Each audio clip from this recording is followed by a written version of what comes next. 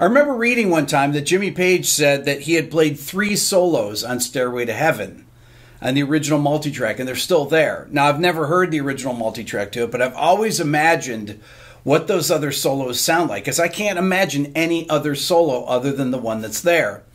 Then I thought to myself, what would it sound like if someone else played over Stairway to Heaven instead of Jimmy Page? Like, what if Peter Frampton played the solo? Or Eddie Van Halen?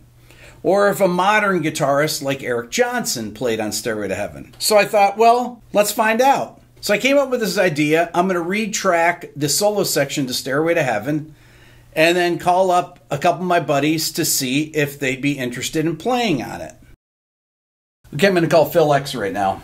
Here we go. What's up, man? How are you? I'm good. How are you doing? Good. Okay, so got a uh, idea for a video. I want to see if you want to be uh, be part of this. Sounds enticing. Okay, so check this out.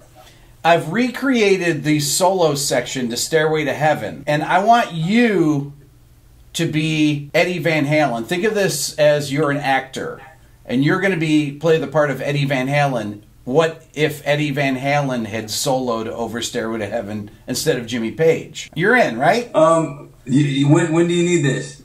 Eh, whenever, whenever you have time. Because I want to I want to try and get my hands on a Frankenstrat too. And I'm going to get a third person. I'm not sure who it's going to be yet. I'm going to reach out to a couple people. So I thought, well, why don't I just call Eric Johnson, see if he's into it? So I call him up, I explain the idea. I say that I'm going to be Peter Frampton. Phil is going to play the part of Eddie Van Halen, but Eric is going to be him. So he said, What do you mean? Like, what would I play? I said, Yeah, if you were in Led Zeppelin and playing over Stairway to Heaven, what would you play? He says, okay. So the first thing I had to do is cut the solo section because I don't have the tracks of Stairway to Heaven and we can't play over that anyway. So I have to recreate the Stairway to Heaven solo section. And then I thought, okay, well, I'm going to play whatever the extra parts are. And I thought, well, what is there in Stairway to Heaven? So I listened to it and I think, okay, there's a 12 string part in it that's playing. And I, and I thought, well, I don't have a double neck 12 string. So I called my buddy Dave Honorado and I said, Dave, do you have what 12 string can I use in place of the one, the, the double neck 12 string for Stairway to Heaven? He goes, Well, Jimmy Page didn't use that. He used a Fender 12 string. I said, Really? Yeah. And I said, Okay. So I go and I search for one and I find one. So I listened down to the track to see what instruments are actually in there. And I thought to myself, I've never really listened that closely to the solo section in Stairway to Heaven.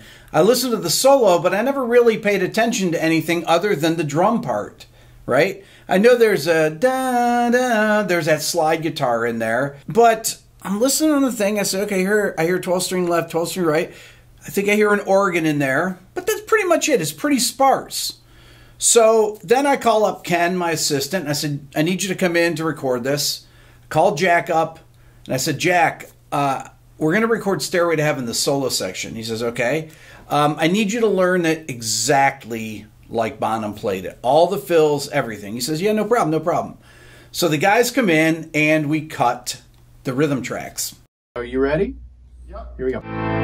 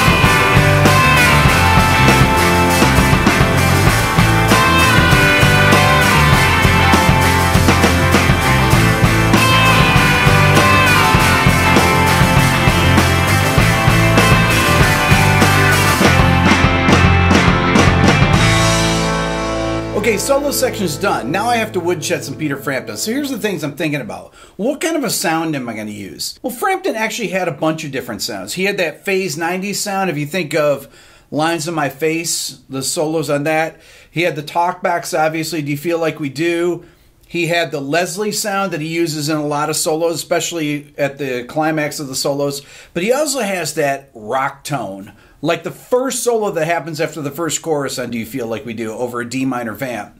He's playing through a JMP like this. This is my 71 JMP that I decided to use. I thought that would get the closest sound to that Frampton mid 70s Do You Feel Like We Do sound. And after playing a bunch of Frampton solos, I thought, okay, I think I can come up with something that sounds like what he would have played. Here's my solo.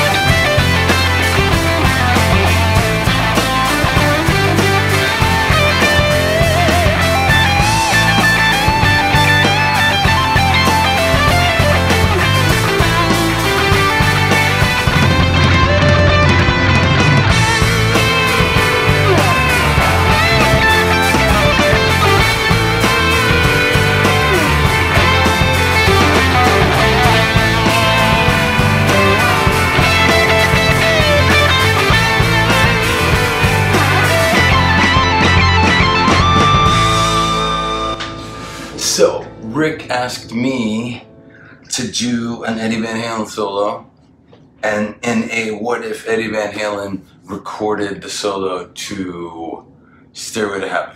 My approach came from I was thinking 1982ish, 1981, 1982. After Fair Warning, less phaser, less gain, particularly because he recorded the Beat It solo in 1981. He just showed up with his Frankenstrat and plugged into a rented Plexi half stack from SIR or something and just did his thing.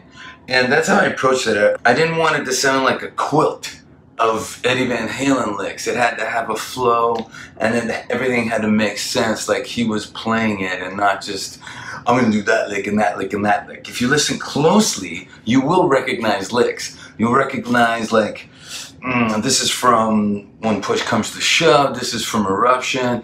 This is from Beat It. This is from uh, 1979 Live Eruption. Stuff like that. So um, the approach was a very simple sound, Eddie sound, a very, you know, a, an Echoplex uh, to get the right delay, and that was about it. Um, and I borrowed a Frankenstein from George Tripps Way Huge uh, to actually do the video. So here goes.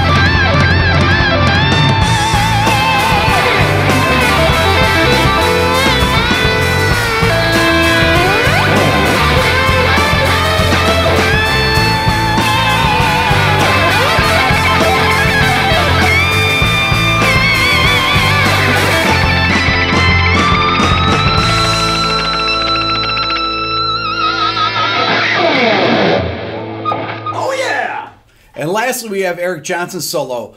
One of the reasons I asked Eric to do this is because he has such an unmistakable style.